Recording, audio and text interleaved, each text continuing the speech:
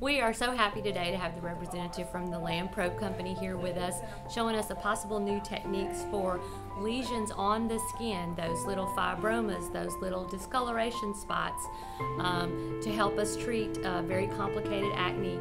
There's techniques here that are, have not been available to this area on a widespread nature, and we're so happy to have that here today. So the Probe was developed by Dr. Herbert Land. So it's the first of its type of um, machine. It uses high frequency current. This machine is more for specific areas like small lesions, raised uh, fibromas, uh, discolored areas um, of a certain type. Uh, small capillaries of the face, what we would call small spider capillaries. Um, different ethnic groups have different problems, and the Lamprobe offers something for almost all. We did have uh, one patient come in with complicated acne where it's been very difficult to drain some of the areas that have been um, inflamed.